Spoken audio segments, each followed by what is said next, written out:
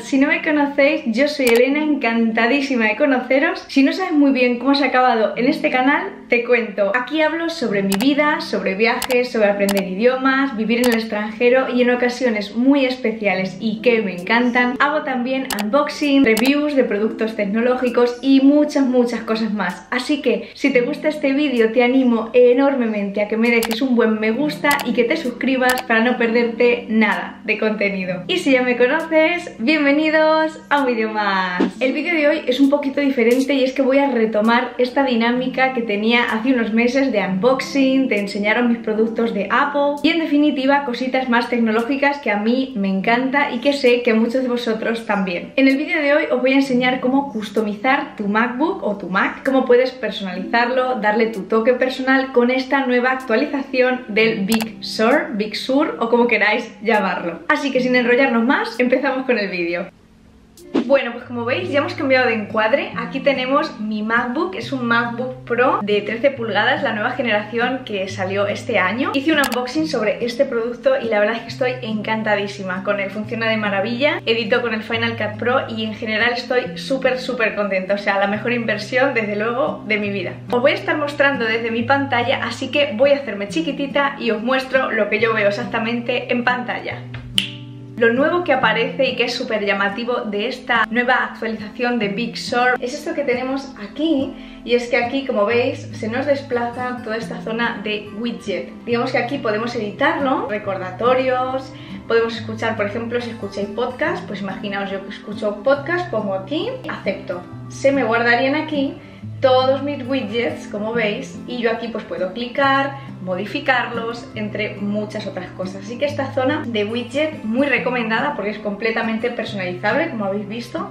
aunque eso sí, de momento solo con aplicaciones nativas, como podéis ver, del ambiente Apple. Así que de momento esto es lo que tenemos, pero seguro que una actualización muy pronto nos permiten también poner cositas como por ejemplo Spotify y cosas así. Esto es una cosa, una novedad que tenemos, estos widgets que podemos personalizar. Otra cosa muy interesante que tenemos, es que lo veis aquí, yo tengo cambiados los iconos de las carpetas. Esto es algo que ya se podía hacer, pero que si no sabéis cómo se hace, os lo enseño porque es súper fácil. Por ejemplo, en esta carpeta de escuela, como veis, tengo aquí imágenes, ¿vale? Y tengo la imagen que tengo puesta y también tengo aquí un cactus que me pareció muy cute, con este formato PNG para que salga el fondo transparente. ¿Cómo cambiamos esto? Pues simplemente botón derecho, obtener información y veis que aquí aparece el icono. Ahora abrimos, por ejemplo, la foto que queráis, en este caso este cactus, y lo que hace mucha gente es que lo arrastra, lo que hace es que lo arrastra aquí y supuestamente esto se pone, pero como veis, en mi caso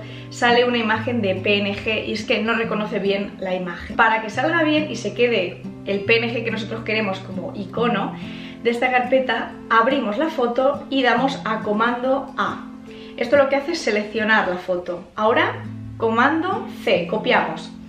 Nos vamos aquí, clicamos en el icono de arriba, comando V y pegamos. Con lo que ahora sí, si cerramos tanto esta carpeta como esta, como esta, ya tenemos aquí este cactus que yo he puesto en mi caso, esta plantita, para que sea el icono de mi carpeta escuela. Lo mismo podemos hacer con todos. Y una cosa muy guay que han hecho también es que podemos cambiar las letras, digamos, la tipografía. Así que imaginaos que hablo Google, me voy a esta página mirad, que se llama Mess Letters. Y aquí imaginaos que yo pongo que quiero cambiar eh, escuela, ¿no? Entonces voy a ponerlo así, escuela, y voy a copiar, por ejemplo, a mí me gusta, o por ejemplo este me gusta copio, me voy de aquí, me voy a escuela, simplemente selecciono para modificar el texto y comando V, pego, presiono y ya está. Ya lo tendríamos aquí modificado con escuela. Entonces, bueno, podéis modificarlo esto si queréis, por ejemplo, añadirlo aquí. A mí me gusta tenerlo como separado porque son como esferas diferentes. Pero de nuevo, si queremos modificar todo esto, pues de nuevo, nos vamos a esta página. Ya digo, hay muchísimas páginas así, esta es solo una por ejemplo, mi nombre, esta de aquí. Vale, entonces de otra vez cerramos esta pantalla, me voy a Elena y pegamos. Ya lo tenemos ahí. Y por último vamos a hacer la otra, ¿vale? ¿Vale? Número 14. Y de nuevo peta y comando V. Así que ya tendríamos modificados, que queda chulísimo, eh, la tipografía de nuestras carpetas que lo interesantísimo es que en el propio Finder, si nos vamos aquí, veis que me aparece la nueva tipografía así que está genial, o sea, se mantiene y está pues muchísimo más personalizado a nuestro gusto. Así que ya hemos modificado carpetas, los iconos, hemos modificado también la tipografía de nuestras carpetas. Otra cosa muy interesante que nos ofrece esta nueva actualización es que, mirad, si nos vamos al apartado, vamos aquí a Spotlight y vamos a buscar dock y barra de menú. Vemos que aquí se nos abren ahora un montón de configuraciones y es que podemos modificar completamente el dock y podemos hacer muchas cosas nuevas con además un aire como muy, muy de móvil, ¿no? O sea, parece como si estuviéramos en un iPhone. Entonces, bueno, como veis aquí podemos hacer el dock muy grande, muy pequeñito. Yo en mi caso lo tengo un tamaño pues así. También podemos ponerlo a la derecha, si no lo sabéis, a la derecha, a la izquierda, abajo, a mí me gusta abajo. También podemos hacer que se oculte, por ejemplo así no está. Lo tengo puesto siempre porque me gusta. Podemos por ejemplo poner mostrar aplicaciones recientes, lo que queráis. Luego tenemos opciones en Wi-Fi, Bluetooth, que aparezcan aquí, podemos quitarlas o ponerlas. Fijaos que si yo aquí en Bluetooth digo mostrar en barra de menú, nos aparece aquí. En mi caso no lo necesito, entonces no lo pongo. También está la opción de AirDrop, el brillo teclado, de no molestar, muchísimas, muchísimas más. Y algo muy interesante y que yo utilizo muchísimo es esto de la batería. Y es que por defecto, cuando instalamos este Big Sur o Big Sur, aparece la batería, el símbolo de batería, sin porcentaje. A mí particularmente me gusta que lo muestre, así que nos vamos a este dock y barra de menús, batería, mostrar porcentaje y ya lo tenemos ahí. Y bueno, en fin, aquí tenemos muchísimas, muchísimas cosas para editar, modificar nuestro Mac a nuestro gusto. Otra cosa muy interesante que han hecho es que han cambiado Safari y lo han customizado bastante. Como veis, ahora puedes cambiar los fondos, han incluido fondos nuevos y esto también lo podemos personalizar. Podemos añadir favoritos, visitados frecuentemente, lista de lectura. En mi caso tengo todos estos seleccionados y como veis podemos cambiar la imagen de fondo.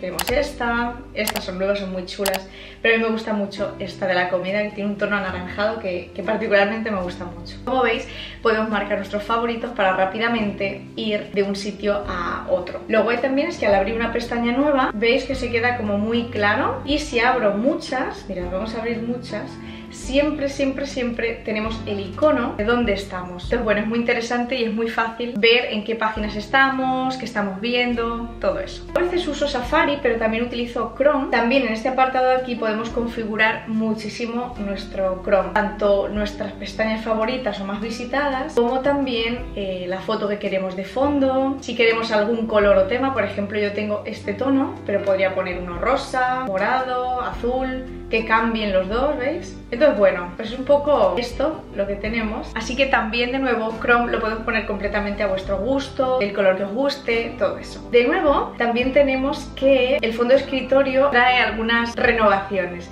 Y es que han puesto nuevos fondos de escritorio que me parecen maravillosos. Yo tengo puesto eh, este que veis por aquí, que me parece preciosísimo. Pero hay muchísimos más. Tenemos también este, que es muy bonito. Este otro, que también son todos súper bonitos. Este y el que yo tenía, que es este. Como veis han puesto muchísimos más. Tenemos como siempre la opción de ponerlo en modo noche y que a determinada hora o a la hora que tú establezcas, pues esto cambie y se ponga en un color oscuro dependiendo de la hora que sea, ¿no? Sea de día o sea de noche. En cuanto a salvapantallas, muchos me habéis preguntado por mi salvapantallas que pongo el cursor aquí, aparece mi salvapantallas. Vamos a ver. Como veis, aparece esto, eh, que es chulísimo. Lo que tenéis que hacer si queréis utilizar esto es iros a esta página que se llama Flicklo entonces si yo me voy a Flicklo, ¿vale? Me voy aquí y aquí simplemente pues os tenéis que descargar la versión que necesitéis. Si es un Mac, eso depende, lo instaláis y simplemente os vais a esta zona de escritorio y salvapantalla, elegís Flicklo y ya lo tenéis. Podéis también configurarlo. Las esquinas activas es muy interesante, que es que cuando pulsamos con el cursor o mantenemos el cursor en una esquina, pues pasa algo. En mi caso, si lo pongo a la izquierda, sale el salvapantallas y si me voy a la derecha, eh, automáticamente me redirige al escritorio. Podéis configurar todo como queráis, en fin, está muy guay, ¿no? Y muy configurable. Esto ya lo teníamos antes, pero bueno, si no lo sabíais, pues siempre está guay saberlo. Básicamente, como veis, la interfaz ha cambiado bastante. El icono del Final Cut Pro me parece monísimo. Todo lo han hecho como mucho más redondeado. Todos los iconos están como más, no sé, perfilados. Juegan con las transparencias también, que me parece muy interesante. Es una actualización que me parece muy interesante. También en cuanto al fondo de pantalla podéis configurar vosotros el que queráis con fondos de Pinterest, añadir por ejemplo sticker, mira, stickies Vamos a las notas adhesivas. Las notas adhesivas las podemos configurar, por ejemplo, si yo me voy a color, pues personalmente a mí me gusta el gris. Y lo bueno es que ahora podemos cambiar de letra. Me puedo ir a tipo de letra, mostrar tipos de letra, y aquí los tenemos. Baskerville, negrita y un tamaño 36. Entonces me voy aquí, pongo ideas de vídeo. Pues podría poner pues el lunes un vídeo de organización, el martes en mi vida en mi vida. Simplemente pues podemos tener aquí un sticker, aquí recordad que también podemos poner imágenes, o sea, esto es muy configurable. Pero es muy interesante que ahora también podamos jugar y cambiar las tipografías que a mí me parece esencial, porque hace al final que tu Mabu sea más no sé, más tuyo, ¿no? Al final. Para mí lo que funciona es esta idea de menos es más. Y es que sí, para mí, a mí me gusta tenerlo todo muy impoluto, muy pequeñito, que no, que no haya muchísimas cosas en medio. Y algo genial que podemos hacer para configurar estos widgets de los que os hablaba al principio es que podemos añadir también widgets personalizables con imágenes nuestras. ¿Qué vamos a hacer para ello? Nos vamos a ir primero a la App Store, entonces vámonos aquí. Vamos a utilizar esta aplicación que se llama, como una línea, un puntito, una línea, se llama Dash dash. Vamos a darle en instalar y una vez la tengamos, lo que necesitamos ahora es irnos a Pinterest y coger las imágenes que más nos gusten. Entonces vámonos, ¿vale? Entonces imaginaos que yo quiero poner, por ejemplo, vamos a guardar esta Vamos a descargar la imagen, esta por ejemplo me gusta. Vamos a buscar otra y de nuevo la descargamos. Una vez tengamos esto simplemente cerramos aquí, vamos al escritorio y hay que añadir estas dos fotos a digamos nuestra galería de fotos, así que botón derecho lo queremos compartir con añadir a fotos y de nuevo compartir a añadir a fotos. Una vez tenemos esto hecho, nos vamos a la aplicación que acabamos de descargar, que es esta de dash.dash, abrimos, ya lo tenemos, entonces add widget, nos vamos aquí, vamos a ponerle un fondo, entonces set image, hemos buscado antes. ¿Qué hacemos ahora? Nos vamos a los widgets, bajamos, editar widget y ahora nos vamos a esta parte de aquí donde tenemos este dash.dash que es esta nueva aplicación podemos coger esta imagen, puede ser tamaño mediano, grande, como queráis por ejemplo vamos a coger uno chiquitito y lo ponemos por aquí, ¿vale? Este sería uno, ¿vale? Vamos a añadir otro, por ejemplo, foto de Vega la guardamos. Y ahora simplemente nos vamos de nuevo a esta zona de widget y veis que es una imagen que va cambiando. Voy a ponerlo así, pero voy a ponerlo en tamaño grande. Entonces como veis yo puedo tenerlo aquí y cuando yo abra mi panel de widget, como veis me aparece pues el calendario, el tiempo, aquí me sale la foto de mi perrita, recordatorios, notas y los podcasts. Así que quedaría así y creo que queda muy guay y en fin que está muy bien. La última cosa que quiero comentar es este apartado de aquí que es también nuevo. Si veis, clicamos y se nos desglosa aquí un menú donde tenemos un montón de configuraciones y que además es muy estilo iPhone. Tenemos aquí Wi-Fi, Bluetooth, AirDrop, no molestar, brillo del teclado donde podemos poner si queremos que brille más o menos. También tenemos duplicar pantalla, el brillo que queremos que tenga nuestra pantalla sonido y música de momento solo de Apple. Porque como os he comentado antes de momento solo pueden aparecer aquí aplicaciones nativas del ambiente Apple. Pero yo creo que en un par de semanas, meses tal vez empecemos a ver ya otras aplicaciones que no sean las nativas de Apple. El dock no lo tengo muy muy lleno pero sí tengo lo que más utilizo a mano. Y en la pantalla pues solo tengo tres carpetitas como veis. Son las que más uso así lo tengo todo organizado. Y en fin a mí me gusta me parece que queda como muy estético muy estético. Que haya poquitas cosas todo esté limpio, muy minimalista, un poco en la onda de, de Apple, de lo que hace Apple. Bueno, pues esto ha sido todo. Volvemos a la pantalla.